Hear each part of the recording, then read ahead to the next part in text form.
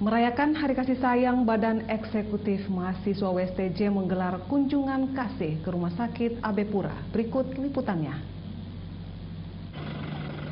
Hari Valentine merupakan salah satu hari penuh sukacita bagi setiap orang yang ada di dunia ini. Dan khususnya Hari Valentine atau Hari Kasih Sayang juga selalu dijadikan momen terindah bagi setiap orang yang mempunyai keluarga atau sahabat terdekat juga kepada pacar.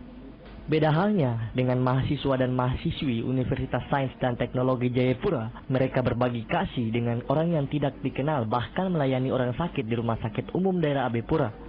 Dari kegiatan yang dilakukan ini, Ketua atau Presiden BEM atau Badan Eksekutif Mahasiswa USTJ ini mengatakan program kunjungan ke Rumah Sakit AB Pura ini merupakan program terakhir masa kerja mereka di BEM USTJ.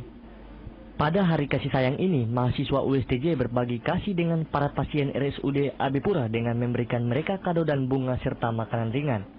Saya adalah Presiden Mahasiswa, kami Ketua Jayapura. Kami dari Badan Eksekutif Mahasiswa, perguruan tinggi Universitas dan Teknologi Jayapura, membagi kasih. Supaya kasih ini hanya bukan hanya kepada saudara atau kepada orang yang kita cintai saja, tetapi kepada seluruh orang sehingga setiap orang merasa bahwa dia adalah penting bagi hidup ini. Terutama buat saudara-saudari yang ada di rumah sakit ini. Kami berharap ke depan uh, bisa dilanjutkan oleh bukan hanya oleh BMUSJ tapi oleh seluruh orang yang ada di kota Jayapura hidup ini. Karena kita tanpa kasih kita tidak bisa hidup. Karena manusia adalah makhluk sosial yang membutuhkan orang lain Sylvester Kudiadi juga mengatakan kegiatan yang dilakukan ini merupakan rasa peduli dan ingin melayani sesama. Dan ia berharap agar pengurus band yang baru nantinya akan melanjutkan program ini di tahun yang akan datang. Saya adalah Jovan Basen Simanjuntak. Kami datang ke sini sekitar 50 orang.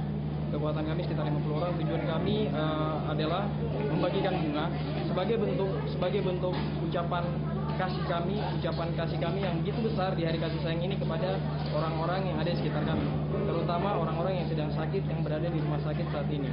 Jadi uh, kami sendiri, kami sendiri berharap bahwa uh, yang kami lakukan ini bisa bermanfaat buat orang dan doa-doa yang kami bawa juga bisa membantu mereka untuk segera pulih. Kegiatan yang dilakukan BEM USTJ ini diikuti oleh sekitar 50 mahasiswa. Jali Mongkau, Top TV. Lainnya